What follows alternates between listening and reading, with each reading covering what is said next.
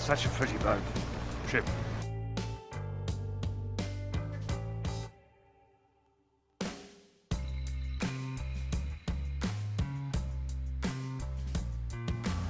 All right, y'all. Today I'm gonna talk to you about a famous ship.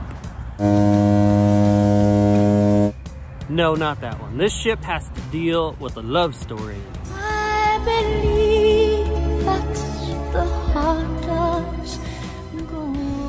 No, again, not talking that one. This one has to do with a shipwreck. Iceberg, dead ahead, sir.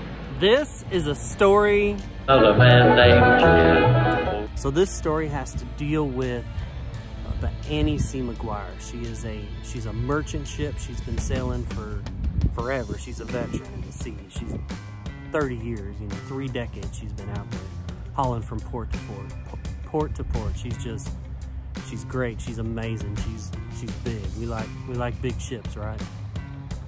So uh, the end of 1886, she's on the seas. She's uh, sailing from Argentina, coming up to, uh, to Canada. And uh, one of her stops is at uh, Cape Elizabeth in Maine. Well, she uh, she's going along. Conditions are horrible on the boat at this time. She's the cook's not a very good one. I call it the nasty patty. the seas, it's winter time. They're they're tossing and turning, uh, financial distress. I mean, just just all kinds of things are piling up for this ship. Just just a miserable experience. Um, on board, you got the captain, you got his wife, his son, uh, crewmates. There's about 13, 15 people in total. And so the story goes that as she's going along, weather starts to set in in the wintertime and she she decides to just hide out for a little bit. She gets too close to the lighthouse and runs aground, strikes a rock. Uh, she can't move. She's just stuck. It's Christmas Eve. It's about 11 o'clock at night. Pitch back, pitch black conditions. I mean, it's just just not good. So uh, the uh, the tenants of the lighthouse, the man gets up. He wakes his son up. He wakes his, uh, his, his wife up. They run outside. A lot of town folk come in and help on this and build a, a makeshift ladder system all the way out to the ship and are able to to get the uh, to get the personnel off. Everybody's out just they're, they're okay. Um, little shaken, but they're okay. You know, they, they get off the boat, they're drenched, they're they're soaking wet, they're cold. You know, they've been at sea, they've been they've been roughed up.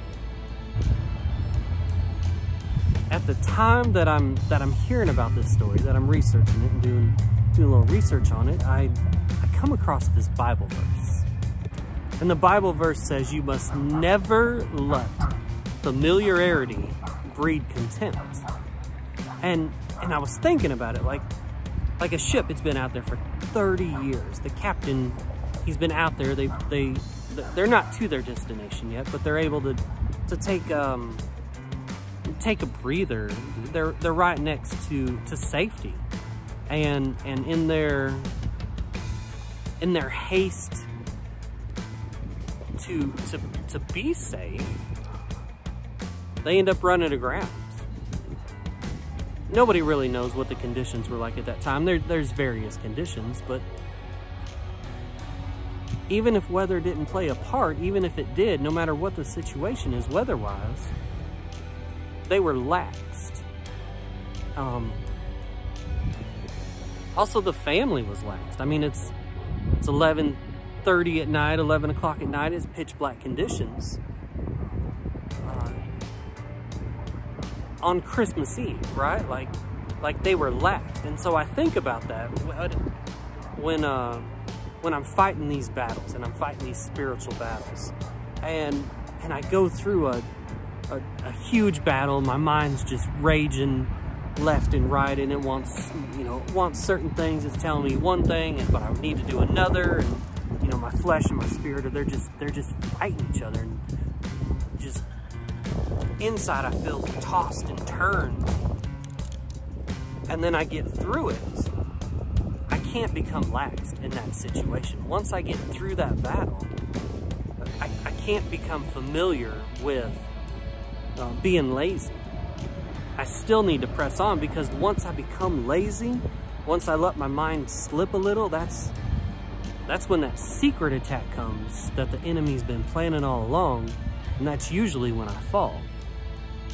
So, you know, just just like it happened in the ship, as soon as, you know, they, they were in open open waters, they didn't have any problems. The only time that the ship had problems in 30 years was that when, when they're in ports. Like, it, it doesn't make any sense. Like, that should be the safest spot. You should you set your anchor down and you, you just, you, you relax. But, you know, it's not what I learned.